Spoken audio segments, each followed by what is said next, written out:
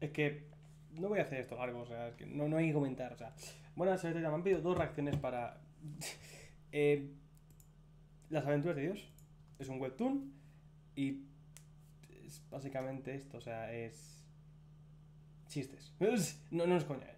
Tiene una continuidad muy, muy, muy limitada, pero son chistes. Chistes religiosos, ¿no? Muy, un humor muy suave. Suavemente oscuro, pero muy suave, demasiado, no, no, es muy. Es demasiado chill.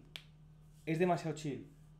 O sea, no, no, no, no, ha estado mal. O sea, no, no me lo he pasado mal. No es como, como que es demasiado.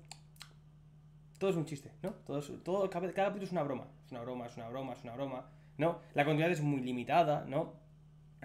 Y aparte, como pasan de evento cronológico a evento cronológico, estamos con el arca de Noé, luego estamos con los romanos, luego hay un arco futuro, luego hay arco de actualidad, luego volvemos a, a Noé. Eso es lo que no me. No, no, no, no, no es algo que leería yo. Es, un- es como una tira cómica en los periódicos.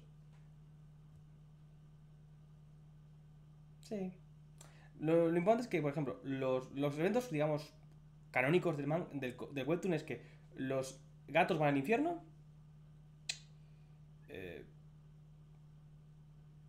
el diablo tiene un estilista y una secta en, la- en el infierno. Y.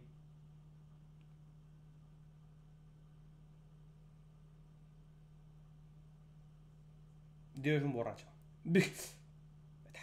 Y básicamente todo lo hace gay. De Dios no hace nada en realidad. Sí. Da like. Es que, es no hay comentarios. Que, o sea, no. Si queréis ver mi reacción, directo en Kick, si no llegáis, podéis subiros y todas las cosas.